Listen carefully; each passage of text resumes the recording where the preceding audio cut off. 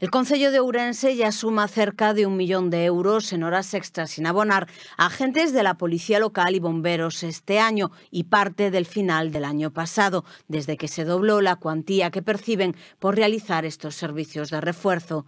El inflado de horas extra tiene dos caras diferentes, ya que en los bomberos se atribuye al déficit de personal, pero en la Policía Local es el cambio de cuadrantes que rebaja los días de trabajo de los agentes el que hace que se compensen con refuerzos. Ahora los policías locales trabajan en ciclos de 36 horas semanales en seis semanas y 24 horas dos días seguidos y cinco de descanso.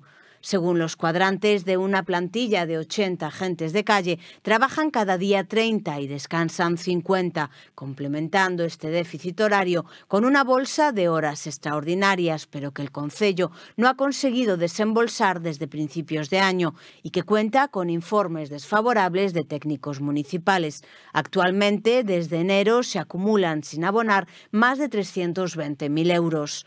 Los bomberos llevan un año y tres meses sin cobrar las horas extra. En el parque hay 53 trabajadores y cada uno acumula una media de 400 horas más.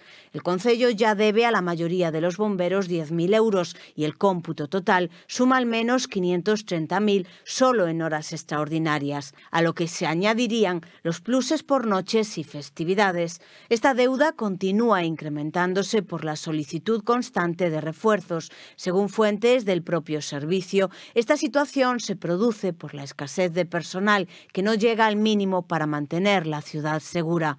Según la Unión Europea, debería haber un bombero por cada mil habitantes. En Ourense hay 53 bomberos, cuando deberían ser al menos 103.